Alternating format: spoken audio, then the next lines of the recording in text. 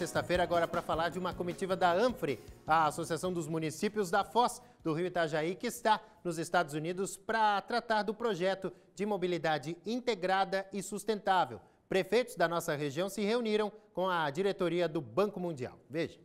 Estamos encerrando a nossa missão aqui em Washington com o Banco Mundial. Ao meu lado está o nosso presidente da ANFRE, Paulinho, que vai explicar um pouquinho de tudo que aconteceu aqui em Washington.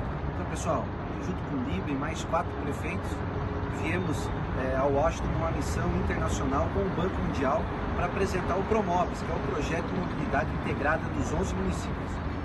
Se divide em três elementos: o projeto de transporte público urbano com veículos elétricos nas 11 cidades, mas também o túnel que liga Navegantes a Itajaí e a mobilidade e micromobilidade em algumas regiões da, da nossa região. Né? Digo a vocês que foi muito produtivo, reuniões com os diretores do banco, eles vão ao Brasil também e a nossa expectativa é que até o mês de outubro possamos licitar esses projetos e iniciar essas obras o mais rápido possível.